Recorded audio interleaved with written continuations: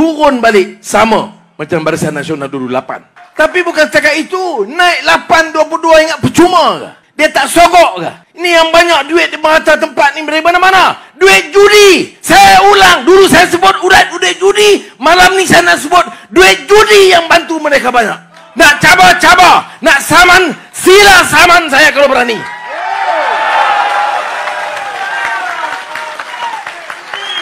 Masa AMNO takat 8. Masa Perikatan Nasional naik 22. Dengan PAS bersatu di situ. PAS kata dia tak buat. Tak buat apa kita bangkitkan. Betulkan tak betul sampai habis. Masa kita, saya dan Tuk Sri Zahid, di antara langkah pertama, turun balik sama. Macam Barisan Nasional dulu 8. Tapi bukan setakat itu, naik 8-22 ingat percuma ke? Dia tak sogok ke? Ini yang banyak duit di mata tempat ni dari mana-mana. Duit judi. Saya ulang. Dulu saya sebut urat duit judi. Malam ni saya nak sebut duit judi yang bantu mereka banyak. Nak cabar-cabar. Nak saman. Sila saman saya kalau berani. Turun balik. Sama. Macam Barisan Nasional dulu 8. Tapi bukan setakat itu. Naik 8-22 ingat percuma ke? Dia tak sogok ke? Ini yang banyak duit di mata tempat ni dari mana-mana. Duit judi. Saya ulang. Dulu saya sebut urat duit judi. Malam ni saya nak sebut duit judi yang bantu mereka banyak. Nak cabar-cabar. Nak saman. Sila saman saya kalau berani.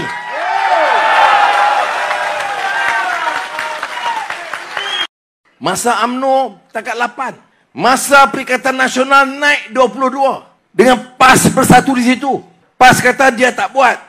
Tak buat apa kita bangkitkan. Betulkan tak betul sampai habis. Masa kita, saya dan Tuk Sri Zahid, di antara langkah pertama, turun balik sama. Macam Barisan Nasional dulu 8. Tapi bukan setakat itu, naik 8-22 ingat percuma ke? Dia tak sogok ke? Ini yang banyak duit di mata tempat ni dari mana-mana. Duit judi. Saya ulang. Dulu saya sebut duit judi. Malam ni saya nak sebut duit judi yang bantu mereka banyak. Nak cabar-cabar. Nak saman. Sila saman saya kalau berani turun balik sama macam Barisan Nasional dulu 8. Tapi bukan setakat itu, naik 8-22 ingat percuma ke? Dia tak sogok ke? Ini yang banyak duit di mata tempat ni dari mana-mana. Duit judi. Saya ulang. Dulu saya sebut urat duit judi. Malam ni saya nak sebut duit judi yang bantu mereka banyak. Nak cabar-cabar. Nak saman. Sila saman saya kalau berani.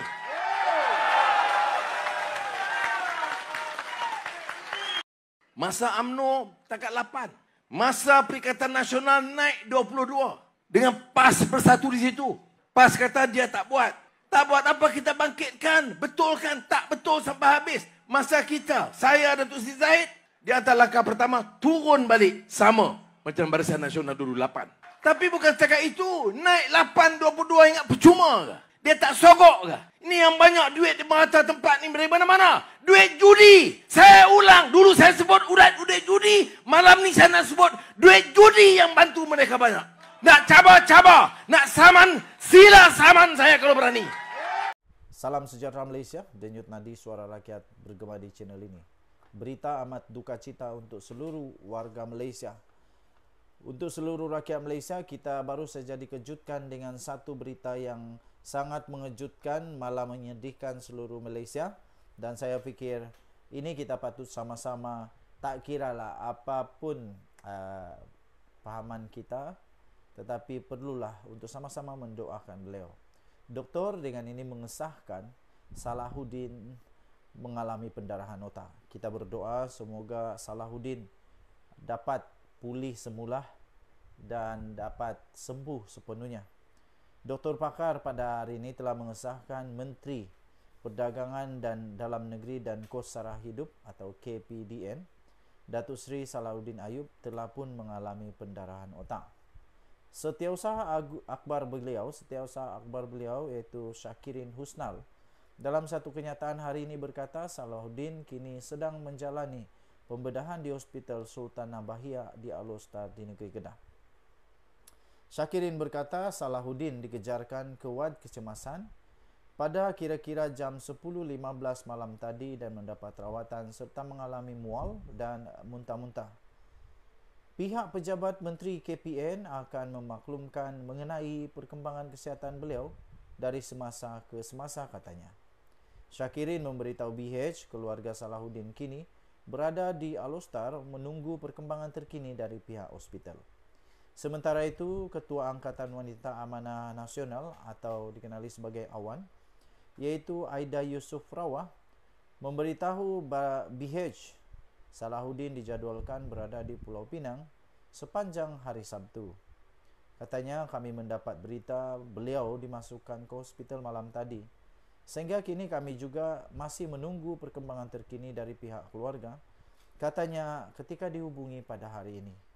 Aida berkata, Salahuddin sebelum ini kelihatan sihat ketika tiba di Kedah malam semalam dari Kuala Lumpur. Tambahnya lagi, sungguh tak sangka perkara begini berlaku. Kita doakan yang terbaik, semoga beliau cepat sembuh, katanya lagi.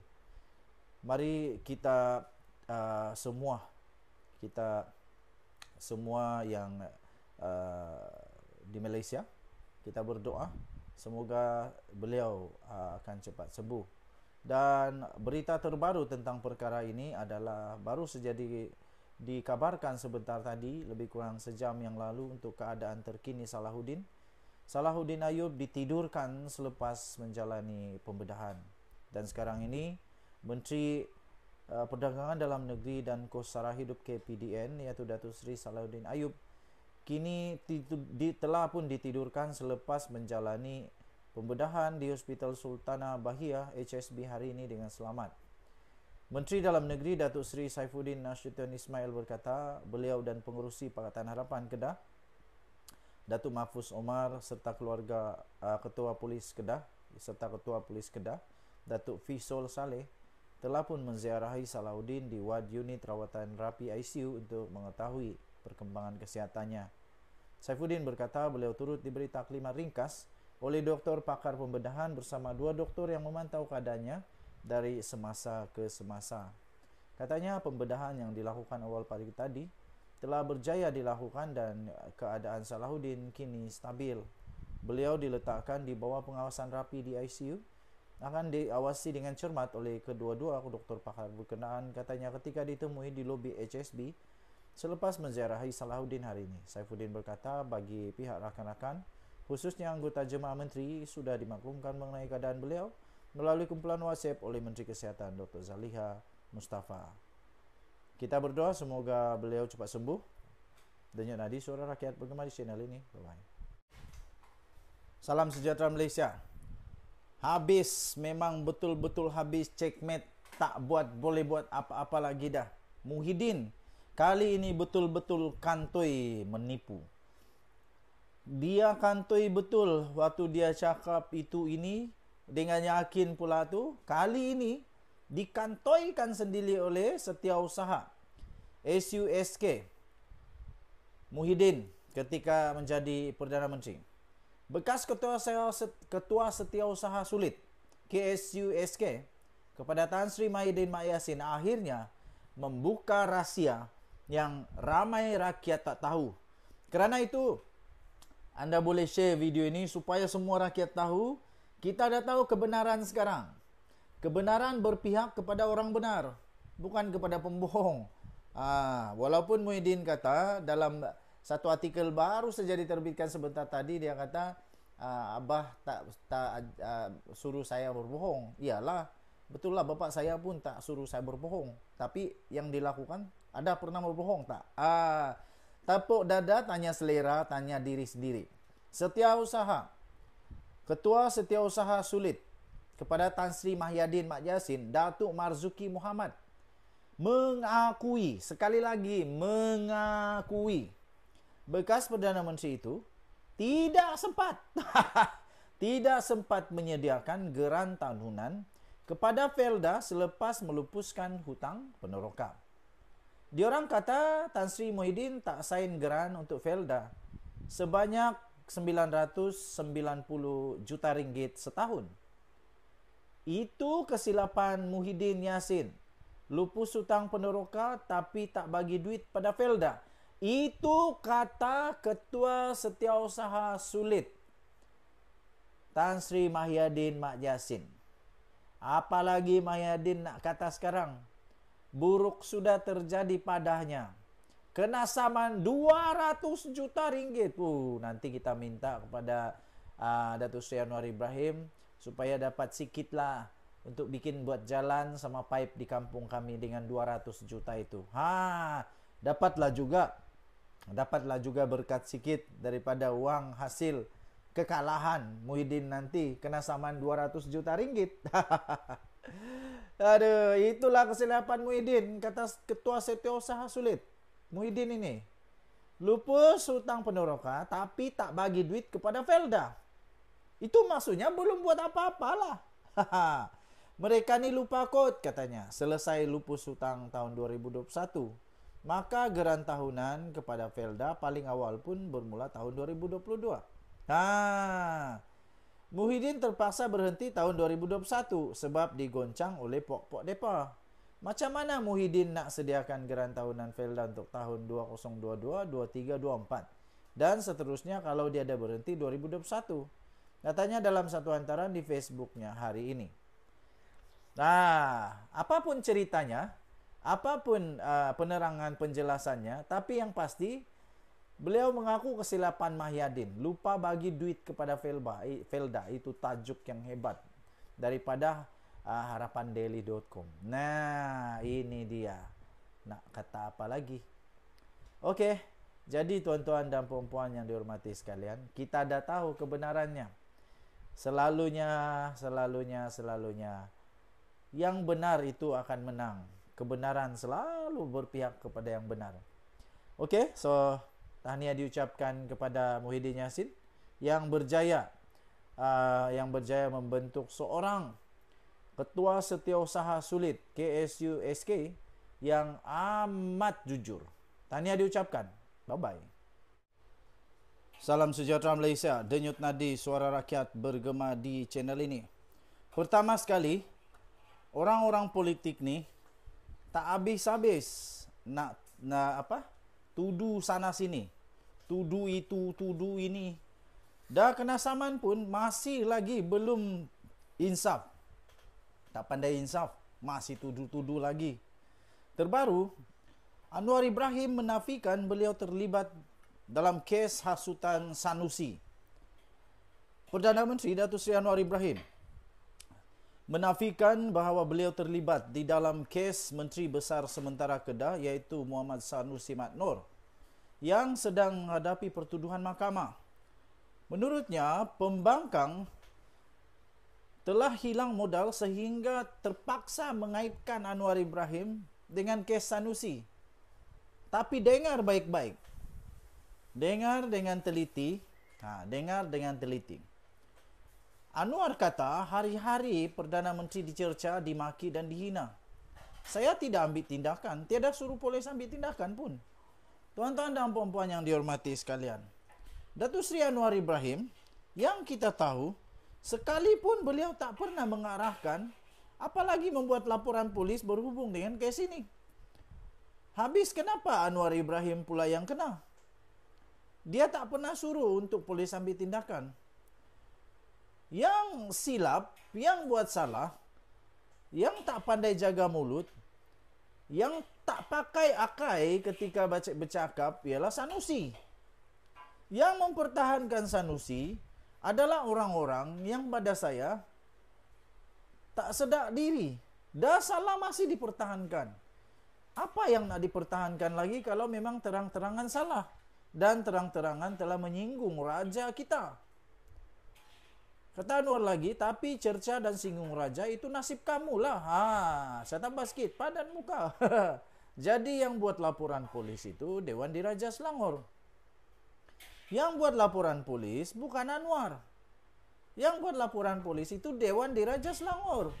Sanusi, Hamzah Zainuddin, Tuan Ibrahim Tuanman. Kamu tahu tak? Yang buat laporan polis bukan Anwar, Dewan Diraja Selangor. Yang kamu cuba persoalkan sekarang ini adalah apa? Kamu sedarkah yang kamu sedang cuba-cuba untuk melawan Dewan Diraja Selangor? Pada hemat saya lah. Bolehkah Dewan Diraja Selangor membuat laporan polis tanpa perkenan sultan? Tidak. Nah, inilah. Sebelum Dewan Diraja Selangor buat laporan polis, mesti ada perkenan daripada sultan. Makna kata, memang sah Sanusi dah sentuh betul-betul institusi diraja negeri Selangor. Dan ke bawah duli yang maha mulia Sultan Selangor tak suka dengan perkara itu. Lagi satu Sanusi masuk rumah orang agak-agak lah. Cuba uh, jaga jaga apa namanya? Cuba jaga adab. Kita sebagai tetamu kalau masuk rumah orang kena jaga adab. Dah orang terima kita masuk rumah, buat buat cara tetamu lah. Bukan buat cara kamu tu tuan pada rumah. Tak tahu malu kah? Kemudian pesuruh jaya pas selangor sendiri pergi jumpa sultan. Minta ampun. Dan selepas itu sultan selangor bertita bahawa kes itu belum selesai. Andainya sanusi memang tak bersalah saya fikir ke bawah duli yang maha mulia sultan selangor terus saja mengampuni dia. Tapi itulah jarang uh, itulah sarang tebuan jangan kau jolok. Bila ada jolok jangan salahkan orang. Kalau ter tersengat ah padan muka. Padan muka lah apa boleh buat? Kita mesti hormati institusi diraja, jangan main-main. Sentuh-sentuh istana uh, apa ni uh, institusi diraja apa hal? Ah, Tuanku Tita kes belum selesai, maka ketua polis negara buat kenyataan dia Sanusi ditangkap dan didakwa. Lepas tu Sanusi buat-buat tak tahu pula dia dia bakal kena tangkap. Apa pula salah Perdana Menteri? Apa pula salah uh, salah Perdana Menteri ni? Aduh, pembangkang dah tak ada modal agaknya. Kamu ni cakap tanggung lah. Hebat sangat kan? Katanya selepas merasmikan Majlis Sentuhan Kasih Desa Selangor dan mini karnival usahawan desa di Stadium Sungai Besar Sabak Bernam pagi tadi. Sanusi telah dituduh di mahkamah pada 18 Julai lalu atas dua pertuduhan menghasut berhubung isu pelantikan Menteri Besar Selangor dan penubuhan kerajaan perpaduan. Mengikut kedua-dua pertuduhan tersebut, Sanusi didakwa telah melakukan perbuatan yang mempunyai kecenderungan menghasut dengan menyebut perkataan yang mempunyai kecenderungan untuk membangkitkan perasaan tidak setia terhadap mana-mana raja. Penyandang kerusi Dewan Undangan Negeri Dun Jeneri itu dituduh melakukan kedua-dua kesalahan terbabit di Simpang 4 Taman Selayang Mutiara, Kampung Bendahara, Gombak dekat Kuala Lumpur pada 11 malam 11 Julai lepas. Dan kedua-dua pertuduhan itu dikemukakan mengikut Seksyen 4 Kurungan 1 A Aksa Hasutan 1948 dan Sanusi boleh dihukum mengikut Seksyen 4 Kurungan 1 Akta yang sama yang membawa hukuman denda sehingga RM5,000 atau penjara maksimum 3 tahun. Oh, 3 tahun penjara. 3 tahun penjara atau kedua-duanya jika sabit kesalahan. Sanusi bagaimanapun tidak mengaku bersalah. Ini yang saya pening betul ni. Kenapa Sanusi tak mengaku bersalah? Sepatutnya Sanusi mengaku bersalah dan mohon maaf betul-betul kepada kebawah duli yang maha mulia Sultan Selangor. Manalah tahu Sultan Selangor berkenan, hatinya sudah hati baginda sudah uh, sejuk, sudah reda. Baginda berkenan untuk mengampuni. Tapi dengan Sanusi mengaku tak bersalah, maknanya dia sedia untuk melawan. Nak lawan apa? Kamu lawan siapa sebenarnya Sanusi? Hamzah Zainuddin, kamu nak lawan siapa sebenarnya? Tuan Ibrahim nak lawan siapa sebenarnya? Sanusi bagaimanapun mengaku tidak bersalah terhadap kedua-dua pertuduhan terhadapnya yang dibacakan secara berasingan di hadapan Hakim Nur Rajia Matzin dan Hakim Osman Effendi Muhammad Saleh. Kedua-dua hakim bagaimanapun membenarkan Muhammad Sanusi diikat jamin sebanyak RM5,000 dengan seorang penjamin bagi setiap pertuduhan dan mengarahkan tertuduh tidak membuat sebarang komen berhubung kes itu sehingga kes berkenaan selesai serta menetapkan pada 4 Oktober ini untuk sebutan kes bagi serahan dokumen. Kalau tiba-tiba nanti Sanusi menang di pilihan raya negeri Kedah, dia menang dilantik menteri besar tapi tiba-tiba bulan Oktober kalah, dia kalah sebagai uh, dia kalah akhirnya terpaksa letak jawatan juga. Aduh, jadi lebih baik bukan janganlah pilih janganlah pilih uh, siapa ni Sanusi untuk jadi menteri besar Kedah. Manalah tahu dia kalah, sia-sia aja nanti letak jawatan pula. Ah. Denyut nadi suara rakyat bergema di channel ini. Jangan lupa untuk tekan butang subscribe, like dan share. Malaysia kita punya, cintai Malaysia aku, kita jaga kita. Kita jumpa lagi. Selamat berhujung minggu pada anda semua. Bye.